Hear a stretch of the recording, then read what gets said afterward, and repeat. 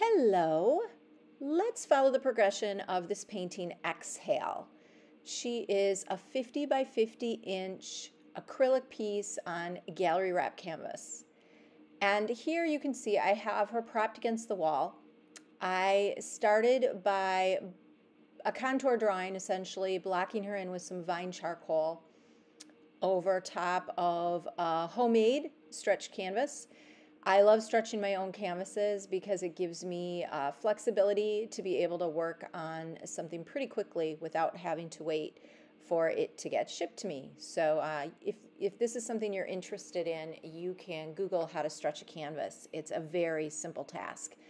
Uh, and it's going to save you a lot of money in the long run. But here I am blocking her in. I'm using a really large brush, and you can see I have my palette box there on the floor. I lay the same colors out every single time I paint. I have about 24 colors that I use pretty religiously and have for a number of years. So uh, that's my palette box there on the floor. I'm working with golden heavy body paints and my brush is about two inches wide. And right now I am just thinking about values, value patterns in the fox, the energy or thrust of her movement and really enjoying playing with some abstract landscape inspired tree shapes, tree and sky shapes. You'll see I'm cutting the sky in right now. Uh, after having had a really lovely walk in a grove of sunburst locusts earlier in the day. The fox came from my dreams. The subject matter of all of my paintings from the last couple years have been animals that showed up in my dreams and then also in my daily life in some capacity. So, Fox was in my dream on Sunday evening, and then I married her to my experience with the locust trees in the autumn color on Monday morning and decided that I needed to create or build a painting out of those two moments. And I put them together. Now, I'm an intuitive painter, which means that I approach the concept uh, without much of a game plan. I had my piece stretched, I knew it was going to be a square, and I was thinking about a fox with sort of a whirlwind or chore- choreography of leaves dancing or swirling about her. And that that was really as much as I allowed myself to visualize or plan for because the rest of the painting reveals itself as I work. So you can see here I've moved her off of the wall and, and placed her up on my easel so that I could get some more careful marks laid in really begin to pay some attention to her face and her personality. And and that's the bulk of my my painting session at this point is just really thinking about the form of her face the form of her skull the way the light is hitting it and just starting to get those aspects defined a little more tightly on the painting Mm, the white lines that you see are chalk.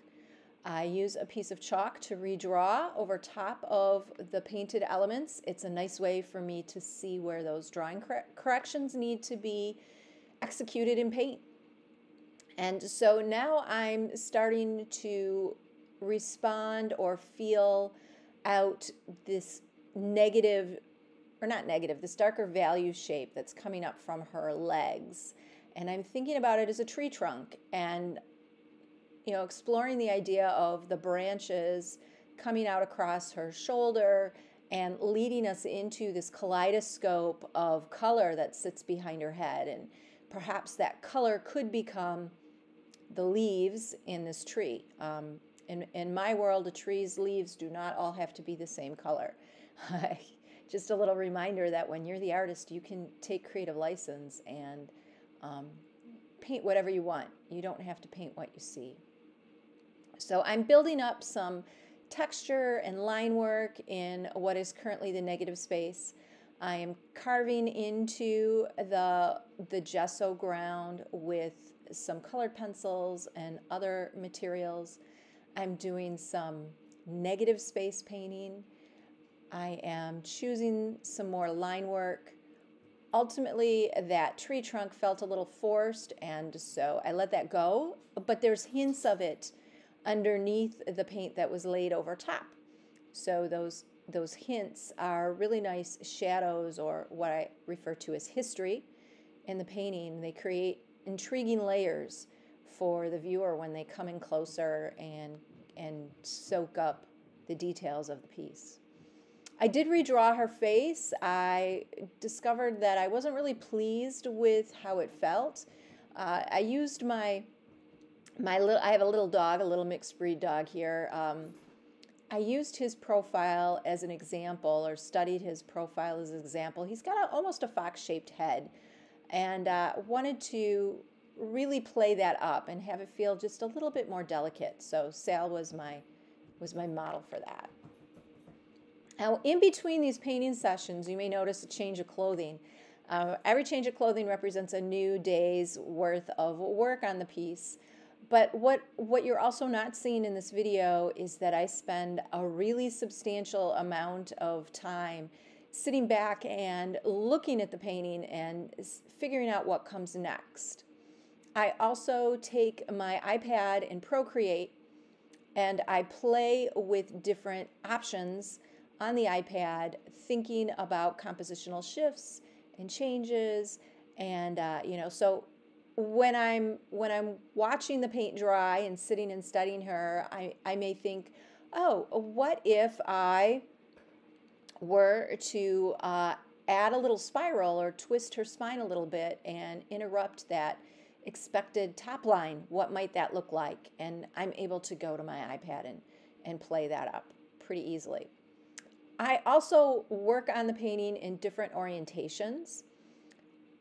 Flipping the painting over to study it is a great way to sort of separate myself from the actual design or the literal subject matter of the fox with that dark mask behind her. And it allows me to just see the elements of the design for what they are and, and decide if there are things that needed to be changed. And when I had this piece, on its side and upside down, I realized that the shoulder of the fox was just too solid of a form and I needed to interrupt it with something. And so you'll notice I have my iPad there and I'm looking at different foliage reference photos and sort of playing with different types of foliage and what they might look like if they were drawn in or cut in into that shape. And ultimately, I chose uh, wisteria and chalked in those shapes. And because I really wanted the color to be vibrant, I also popped or, or filled those chalk lines in with gesso. That's going to give me a light base for whatever marks or colors those marks ultimately are. It's going to give me a lighter base and cleaner color. So just a nice little technique or trick that I do to keep my color saturated when I know I'm going to be layering over top of something else. Particularly with lighter value acrylic paints, they tend to not be as opaque as the darker ones, so I really wanted them to sing, even though I hadn't decided yet what they were going to be. So now I'm playing with the color across the whole surface, putting little touches of it here and there, and seeing how my eye moves. Where is my eye stopping? Where is my eye moving too quickly? Where, you know, how can I control my focal point? Now, I want my focal point to be her heart space, that yellow area. And it's it's a challenge because typically when you have an animal face or you have a set of eyes in your painting, that face becomes a focal point. So I'm trying something new here in sort of trumping that face with a passage or area of the painting that demands a little bit more attention. And uh, I think I, I think it was pretty successful here. So I am putting some leaf shapes into the negative space. So uh, lots of differences here, but also similarities. thinking about nuanced color, my value patterns, the energy of the leaves as they move across the surface. And I really want them to frame that fox and to also really set off uh, the focal point or her heart space. So, putting three sections of frames in or leaves in, I really like to work in sets of three. But each one is inherently different, although they are all related in some capacity. Also using really thick paint, which you can't tell from this video, but really globbing on some painterly marks and uh, appreciating the difference in texture, tactility across the surface of the painting. And here she is finished. Thank you so much for watching my video, watching the progression of this piece.